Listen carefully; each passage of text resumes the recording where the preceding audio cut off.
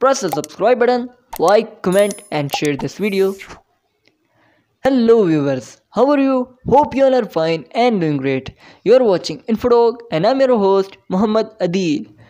Today I'm going to present 5 facts about young Canadian actress Momona Tamada. So if you are new here, please subscribe our channel and hit the bell icon. And make sure you watch this video till the end. So let's begin our topic without wasting any time.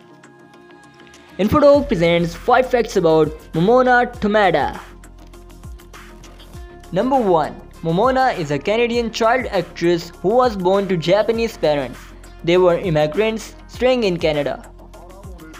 Number 2. Her name Momona Tamada means hundreds of beaches, inspired by her hometown Vancouver.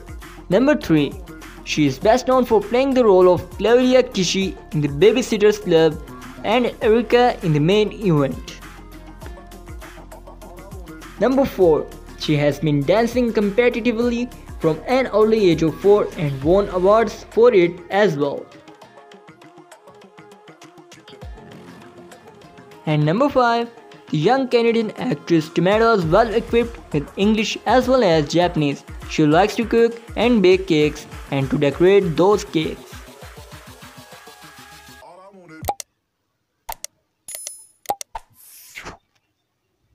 So viewers, that's all for today. If you like this video, then press the like button and drop a comment.